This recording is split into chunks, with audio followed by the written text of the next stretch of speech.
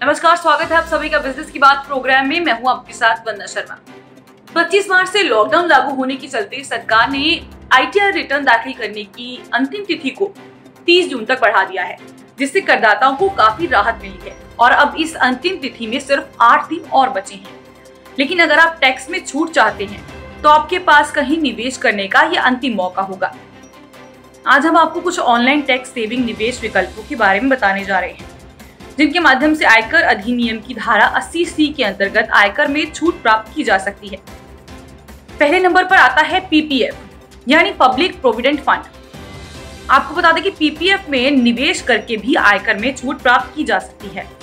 भारतीय state bank H bank, ICICI bank जैसे सभी बड़े बैंक अपने ग्राहकों को ऑनलाइन पीपीएफ अकाउंट खोलने की सुविधा देते हैं। इतना ही नहीं, निवेशक ऑनलाइन माध्यम से ही अपने बैंक अकाउंट से पैसा पीपीएफ अकाउंट में ट्रांसफ़र कर सकते हैं। निवेशक पीपीएफ अकाउंट स्टेटमेंट जनरेट कर सकते हैं और टैक्स सेविंग के लिए उसे इन्वेस्टमेंट प्रूफ के रूप में जमा करा सकते हैं। महत्वपूर्ण बात, पीपीएफ अकाउंट में एक साल में पाँच सौ से लेकर 1.5 लाख रुपए तक निवेश कर सकते हैं। उसके बाद आता है टैक्स सेविंग बैंक एफडी। अगर आप इस आखिरी समय में टैक्स बचाने की सोच रहे हैं तो टैक्स सेविंग बैंक एफडी में भी निवेश कर सकते हैं। ये पाँच साल की लॉकिंग अवधि के साथ आती है और ये एफडी इस समय 5.50 से 6 फ़ीसदी तक रिटर्न की पेशकश कर रही है। इस एफडी से प्राप्त ब्याज आयकर योग्य होती है।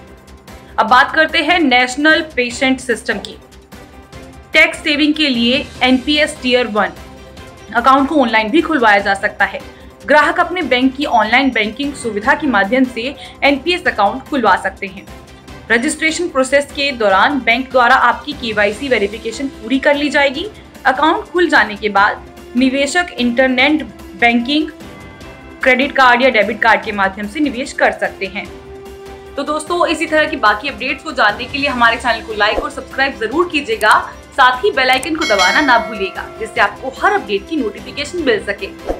तो बने रहिए हमारे साथ और देखते रहिए ओके क्रेडिट। ओके क्रेडिट, भरोसा व्यापार का।